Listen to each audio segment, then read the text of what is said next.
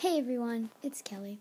And when I started my YouTube channel around a year ago, I didn't think it would grow into anything as big as what I have now, which is 26 subscribers.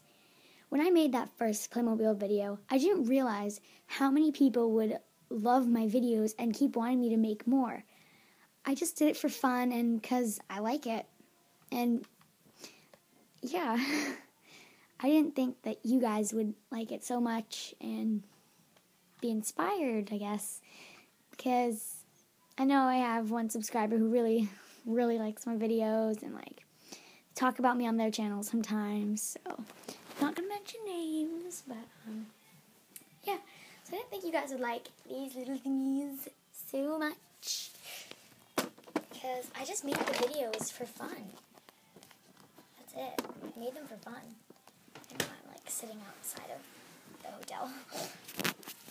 But um, I started to grow my channel into being more than just Playmobil, and I don't know if you guys really like that, but um, the Playmobil videos are definitely the funnest ones to make, so it's probably what I'll stick to. I'll try and make the most of those, but I like to mix it up sometimes and do other things because I do love the Disney Car Toys channel, and I love she inspires me, so I always try and make videos like her.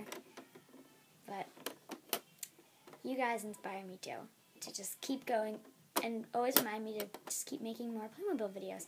So I wanted to thank all my 26 subscribers for your everything. And so, yeah.